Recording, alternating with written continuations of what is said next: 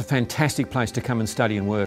I live close so I can jump on a bike, ride through the bush, which is Toohey Forest at Nathan, and there's the university sitting right in the middle of it all.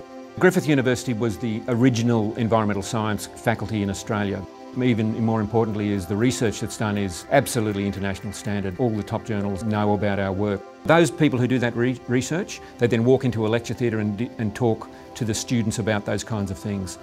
I think one of the things that everybody buys into who comes to work at Griffith is that, is that we really want to make a difference. The relationship between the lecturers and the students is, is remarkably informal and friendly. That's, that's a real characteristic of Griffith that I've enjoyed the whole time I've been there. This is a really exciting time to be a graduate from coming out of, of Griffith with an environmental science degree. Our graduates have literally gone everywhere in the world and are making a really big difference internationally.